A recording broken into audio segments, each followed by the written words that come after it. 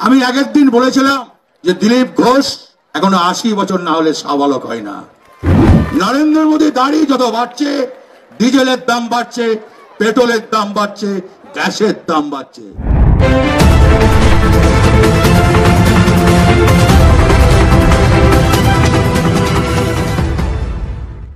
আমি আগের দিন বলেছিলাম যে দিলীপ ঘোষ এখনও আশি বছর না হলে সাবালক হয় না। আবার বলছি, ও চাষা আমো চাষা। আমি মন্ডল ও ঘোষ।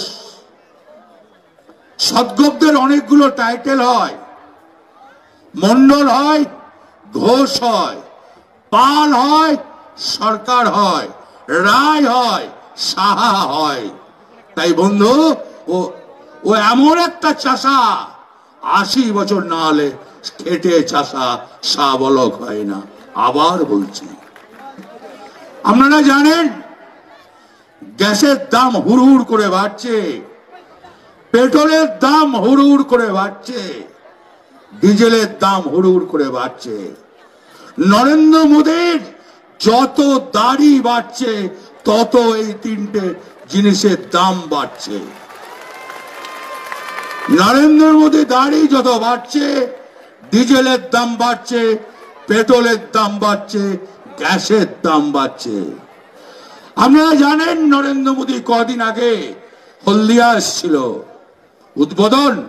না। আপনারা ভারতবর্ষে কতগুলো জিনিস বিক্রি করেছে জানেন নরেন্দ্র মোদী? পেট্রোলিয়াম বিক্রি করেছে। বলেছিল দুটো ব্যাংক বিক্রি করব। চারটে ব্যাংক বিক্রি করেছে স্টেশন বিক্রি করেছে ট্রেন বিক্রি করেছে, কয়লা খনি বিক্রি করেছে বিসিসিএল বিক্রি করেছে এয়ারপোর্ট বিক্রি করেছে, তারপর এলআইসি বিক্রি করতে চলেছে। হলদিয়াটা দেখতে এসছিল, উদ্বোধনটা মিথ্যা কথা। হলদিয়াটাও কি কি বিক্রি করব, সেটা দেখে গেল যে বেঙ্গলে একটা ভালো বিক্রি করা জিনিস আছে। ও করতে পারে না, ও বিচতে পারে। এমন একটা অপাদাত প্রধানমন্ত্রী। তাই বাংলার মহামাটি মানুষের মুখ্যমন্ত্রী মমতা ব্যানার্জি, আমি রানাকে বলছিলাম, আপনাদের অনুরোধ করব, ওরা কালকে অমিত শাহ বলেছে, আমরা মুখ্যমন্ত্রী পরিবর্তন করছি না, আমরা পরিবর্তন যাত্রা করব। কখন কি বলে, পাগলের মতন আমরা জানি না। তাই আজকে বলে গেলাম। নাড্ডা বাবু এখানে এসেছিল, নাড্ডা। লোক করতে পারে নাই, দুর্ভাগ্য। সবই রথ, ফেল, পরিবর্তনের যাত্রা শেষ। কি হলো ভগবান জানে আর আল্লাহ জানে। জানি না কি হবে। কোথায় গিয়ে ঠিক বিরোধের জাহাজ আর রথ?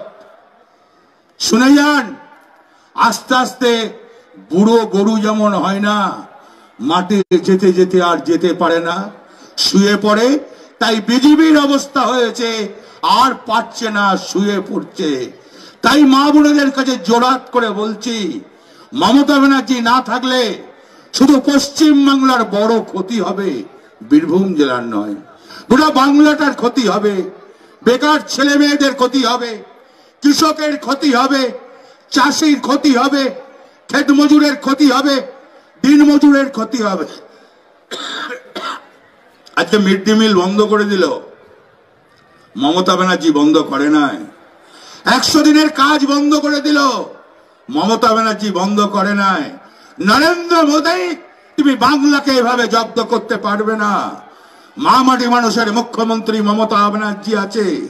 তুমি দিল্লি দাও আর না দাও। বাংলা আমরা চালিয়ে নেব। মুখ্যমন্ত্রী মমতা ব্যানার্জি। আজকে আবার বলে গেলাম রামপুরহাটে দাঁড়িয়ে আশিস দা আছে, আনারুল আছে, রানা আছে, অসিত মাল আছে, জিমি আছে দিদি ভচ্চাজ আছে, আমার কাউন্সিলর আছে চেয়ারম্যান আছে, মীনাক্ষী আছে রিন্টু হকত আছে টাউন প্রেসিডেন্ট আছে। আজকে দাঁড়িয়ে বলে গেলাম, আবার মা মাটি মানুষের মুখ্যমন্ত্রী মমতা ব্যানার্জি, দুশো কুড়ি থেকে দুশো তিরিশ। দেখে নেবেন বাংলার মানুষ অত বোকা নয়। বাংলার মানুষকে যদি কেউ ভেবে নেয়, বোকা সে মূর্খের সঙ্গে বাস করছে। আবার আমরা তৈরি। আবার আশিস ব্যানার্জি বিধানসভায় যাবে, এ নিয়ে কোনো চিন্তার কারণ নাই।